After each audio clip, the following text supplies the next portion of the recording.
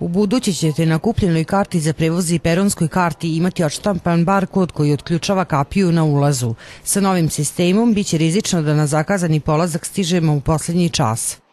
To je sad tek u fazi testiranja i nekih rok od 7 do 10 dana trebao da bude, da profunkcioniše u potpunosti taj sistem. Sistem se sastoji od toga da putnici koji kupe kartu za prevoz autobusima ili kupe peronsku kartu za ulazak, na pa, karti će im biti učitan bar kod koji će moći da uđu na perone po sistemu jedno učitavanje, jedan ulazak.